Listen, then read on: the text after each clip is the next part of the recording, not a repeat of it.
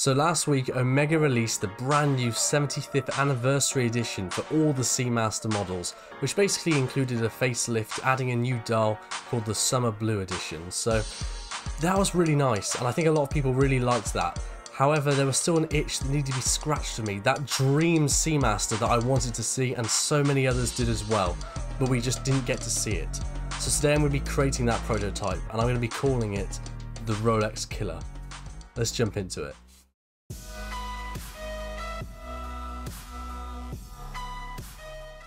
So before I jump fully into the video, would you take just a moment to subscribe to the channel because it would really help me get to my goal of a thousand subscribers. Right now I'm at 950, so if you subscribe right now, we'll probably be at 1000. Now before I jump fully into the video, let's do my wristwatch check and my drinks check. Starting off with the drinks check, shall we? I've actually got quite a rare whiskey in for today. This is the Dunhill Fine Whiskey. This is the Old Masters. This is from a large bottle and I think this is actually retailing for about 200 British pounds, so quite expensive stuff. I've never had this before. I've got it with some ice. Let's give it a sip.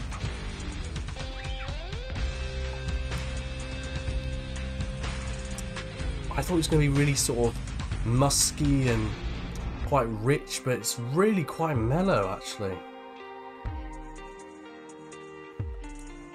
Hmm. No, there's really no notes there at all. I thought there was going to be a lot of character coming through. It smells quite oaky actually. It's um, it's quite a nice smell. It's very pleasant drinking. There's not really a lot of uh, not a lot to complain about there at all. For my wristwatch check, I'm wearing my Longines Conquest silver dial on the bracelet. Really classic look. I really love this combination, and it goes well with the shirt today. So um, yeah, that's going to be it. So let's jump into the video.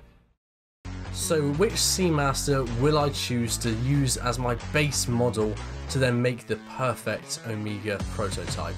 Well, I think it's going to have to be the 300M, personally. I just think it's the flagship and the one that is just most noticeable and recognisable. I love the Aquaterra, I love the Planet Ocean, the Heritage models are really nice as well, but for me, I think the 300M is the flagship out of all of them. So I'm going to use the 300M and then I'm going to modify it to make it more well, I guess more appealing to the wider audience and something that's going to be therefore very very acceptable and very wearable. So first off I'm going to have to downsize it a bit because 42 millimeters while it works quite alright for someone like me on my wrist but it's not going to work well for a lot of people. So I'm going to downsize that to 39 millimeters as well as slim it down a bit. Get the Seamaster on a diet and bring it down to 12.5 millimeters in thickness just to make it a little bit more wearable. The next thing I'm going to do is change something very fundamental on the Seamaster.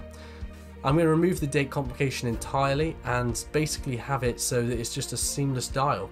I think that'll just look a lot better and just really clean up the dial.